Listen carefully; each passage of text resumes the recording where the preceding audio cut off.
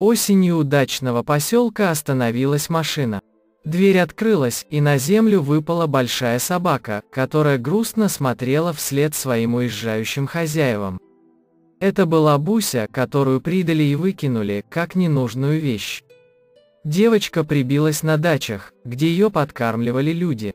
Добрая и умная, она никому не мешала, но все-таки жизнь на улице для такой собаки, которая раньше была домашней, всегда в тягость. А девочки узнали волонтеры приюта участие.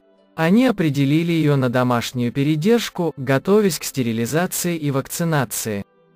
Когда пришла пора стерилизовать Бусю, врачи ахнули, у нее нашли огромную опухоль, которую тут же удалили. Сделая они это позже, собака могла бы умереть, так что волонтерам вовремя удалось спасти животное. Буся оказалась очень послушной и милой собакой, ориентированной на человека. Пришла пора искать ей хозяев, которые могли подарить этой девочке с трогательным взглядом счастье. Меньше чем через месяц ушастая красавица Буся отправилась домой. У Буси есть свой вольер и большая теплая будка, и она настоящая охранница.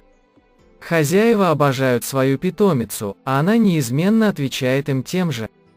Благодарю за просмотр. Подписывайтесь на канал, ставьте лайк, пишите комментарии и нажимайте на колокольчик, чтобы не пропустить интересную историю.